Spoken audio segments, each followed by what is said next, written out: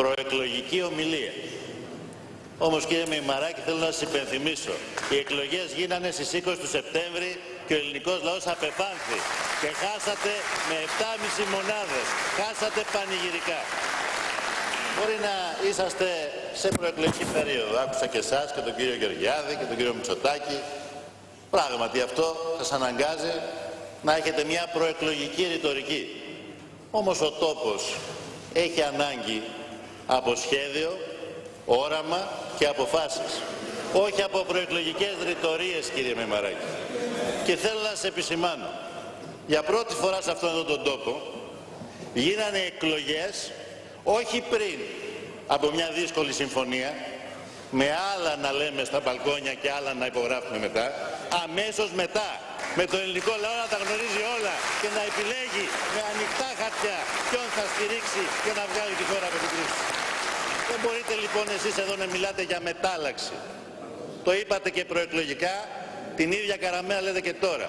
Με ανοιχτά χαρτιά, με όλες τις δεσμεύσεις ανοιχτές, με όλα τα μέτωπα ανοιχτά, με τη συμφωνία ψηφισμένη και από εσά, σας το θυμίζω, και με ανοιχτή βεβαίως την υλοποίηση των εφαρμοστικών νόμων.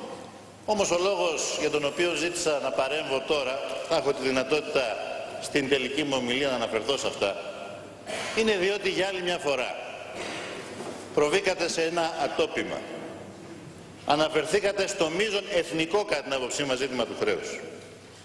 Και είπατε τίποτα δεν άλλαξε. Όχι μόνο τίποτα δεν άλλαξε, όχι μόνο δεν κέρδισε κάτι η χώρα, διότι δεν το κέρδισε ο ΣΥΡΙΖΑ, η χώρα το κέρδισε.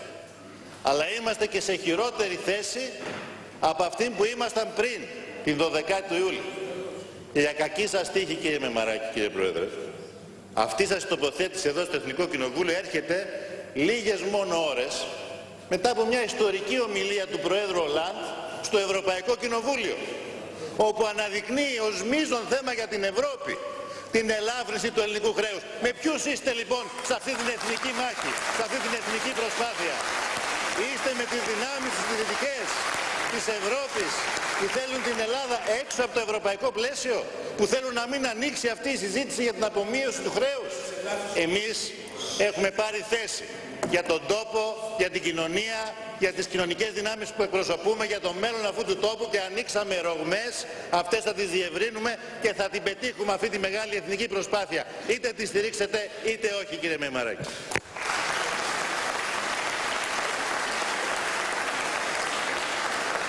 Ευχαριστούμε. Κλείστε λίγο αν θέλετε, κύριε Πρωθυπουργέ.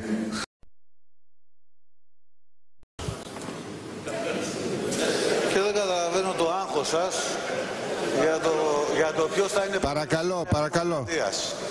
Θα έλεγα δε ότι και πολιτικά δεν είναι σωστό να παρεμβαίνετε τόσο πολύ σε αυτά.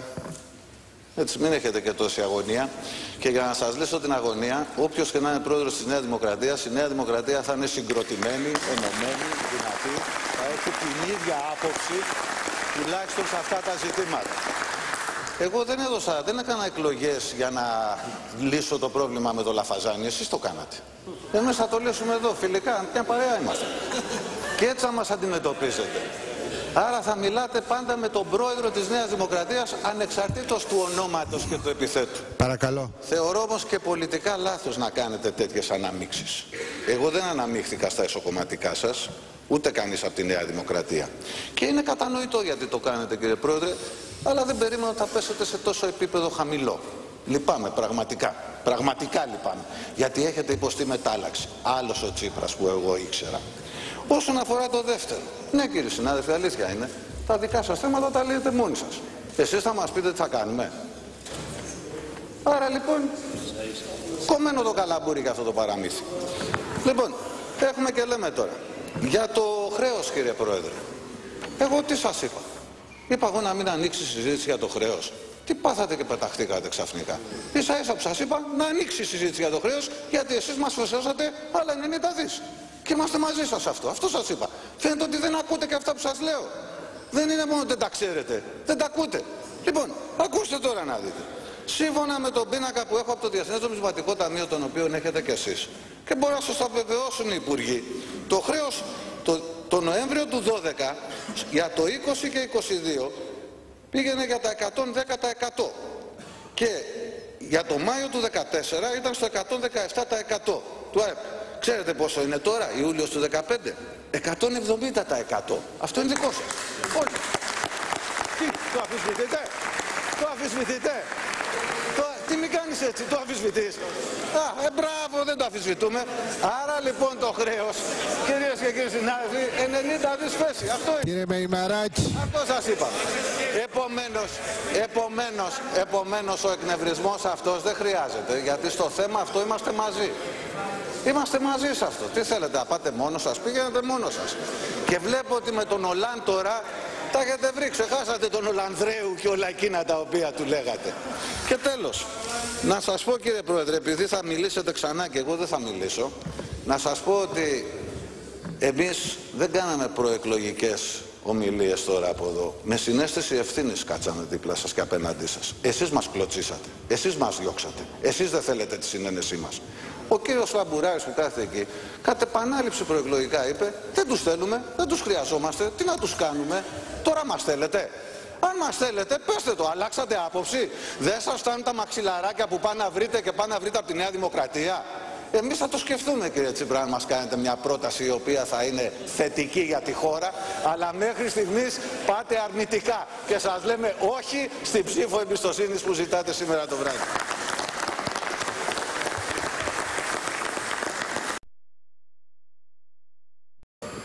Κύριε Πρόεδρε, δεν υπάρχει καμία διάθεση ανάμειξης στα εσωκομματικά της Νέας Δημοκρατίας. Και θέλω αυτό να το ξεκαθαρίσω. Και η παρέμβαση που έκανε ήταν πολιτική παρέμβαση. Αφορούσε το κρίσιμο θέμα του χρέους, την ανάγκη σε αυτό το θέμα να υπάρχει εθνική στρατηγική και δευτερευόντως έκανα πολιτική κριτική στην ομιλία σας, την οποία χαρακτήρισα προεκλογική. Σε ό,τι αφορά τα εσωτερικά σας, εγώ είμαι υπέρ της άποψης ότι στα κόμματα πρέπει να υπάρχει δημοκρατία εσωκομματική και μπράβο σας και δεν υπάρχει κανένα θέμα που έχετε εσωκομματικές διαδικασίες και εκλογές. Κακώς το εκλάβατε ως ανάμειξη και ήθελα αυτό να το ξεκαθαρίσω. Αυτό όμως που θέλω να επισημάνω για άλλη μια φορά είναι ότι ανεξαρτήτως προσώπων αυτό που χρειάζεται η χώρα είναι επικοδομητική συμβολή και από τις δυνάμεις της αντιπολίτευσης. Και όχι κριτική, βεβαίως κριτική χρειάζεται, αλλά όχι στήρα και αδιέξοδη. Και σε ό,τι αφορά το ζήτημα του χρέους, το μεγάλο αυτό εθνικό θέμα, το μεγάλο αυτό εθνικό θέμα κύριε Πρόεδρε, για το μεγάλο αυτό εθνικό θέμα, επιτρέψτε μου να σας πω το εξής. Κάντε ησυχία Υπάρχουν δύο παρακαλώ. στρατηγικές. Η μία στρατηγική που λέει τεράστια πρωτογενή πλεονάσματα προκειμένου να υπάρχει μείωση του χρέους και η άλλη στρατηγική που λέει αυτά τα τεράστια πρωτογενή πλεονάσματα τα οποία υπήρχαν στις προηγούμενες συμφωνίες είναι το άλλο πρόσωπο μιας σκληρής λιτότητας που καταστρέφει οποιαδήποτε αναπτυξιακή προοπτική. Γι' αυτό και εμείς διαπραγματευθήκαμε με στόχο να μειώσουμε τα πρωτογενή πλεονάσματα που ήταν όχι απλά τεράστια αλλά και αδύνατο να πραγματοποιηθούν και ταυτόχρονα να ανοίξουμε τη μεγάλη συζήτηση για την αναγκαία απομείωση του χρέους διότι μικρότερα πλεονάσματα σημαίνει ότι το χρέος δεν βιώσει. Άρα λοιπόν σε αυτή τη στρατηγική σας καλώ να το ξανασκεφτείτε, να μην υπερασπίζεστε μια αδιέξοδη τακτική και στρατηγική των προηγούμενων κυβερνήσεων και να έρθετε σε αυτό τουλάχιστον το θέμα να συμβάλλουμε ώστε να έχει επιτυχία αυτή η εθνική προσπάθεια για να φύγει αυτός ο βραχνάς από το λαιμό της ελληνικής οικονομίας και της ελληνικής κοινωνίας. Για ένα αύξηση αυτή του χρέους. Ένα. Δύο. Τα έχετε μπερδέψει πάλι. Δεν είναι με τα πρωτογενή πλεονάσματα, είναι με το αν υπάρχει αύξηση ΑΕΠ ή όχι.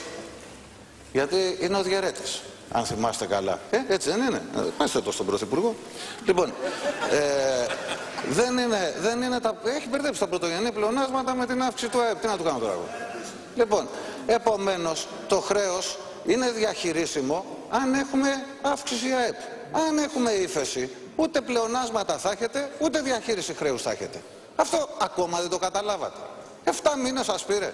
Και ακόμα τόσα λεφτά έχουμε πληρώσει για αυτά τα φροντιστήρια. Δεν το μάθατε. λοιπόν, η ΑΕΠ θα έχετε αύξηση, στην οποία πάτε σε ύφεση. 2,5 πάτε κύριε Πρόεδρε, για φέτος, όταν προβλέπετε αύξηση ΑΕΠ. Ένα και.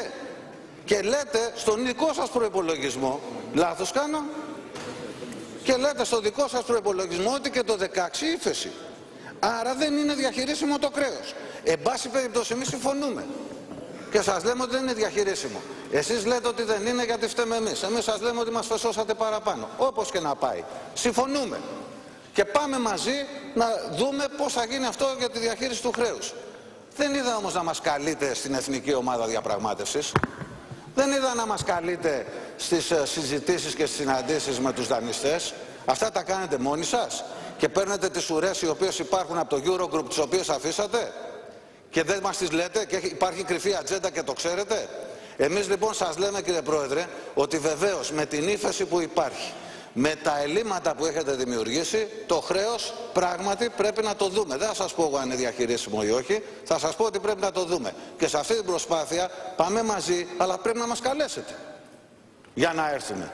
Και όχι μόνο δεν μας καλείτε, όπου λέμε και να, μας βοηθήσει, να σας βοηθήσουμε, μας διώχνετε. Λοιπόν, έχετε ξεκαθαρίσει ότι δεν μας θέλετε, αφού δεν μας θέλετε, τι κόπτεστε.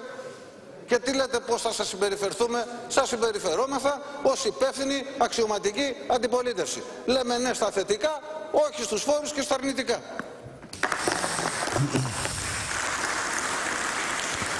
Το λόγο έχει για 20 εν συνόλο, επειδή δεν είχε κάνει χρήση προηγούμενα, ο κύριος Μιχαλολιάκος, πρόεδρος του Λαϊκού Συνδέσμου Χρυσή Αυγή. Κύριε Πρόεδρε,